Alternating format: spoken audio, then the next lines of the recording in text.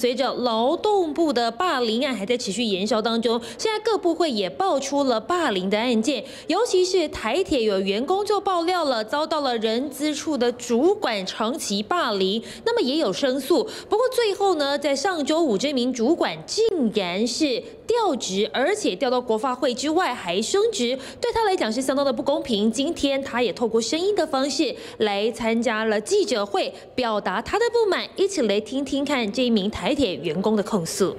在交通部陈部长下令一周内办理完毕之后，台铁就顺势草草回应我职场霸凌不成立，而且是连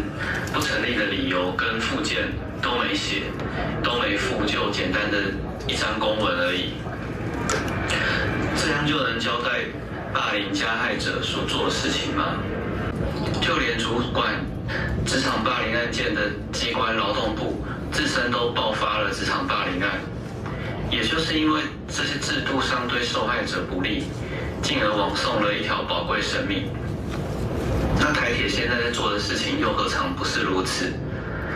机关跟霸凌的加害者携手，不就是逼受害者一步步走上绝路而已吗？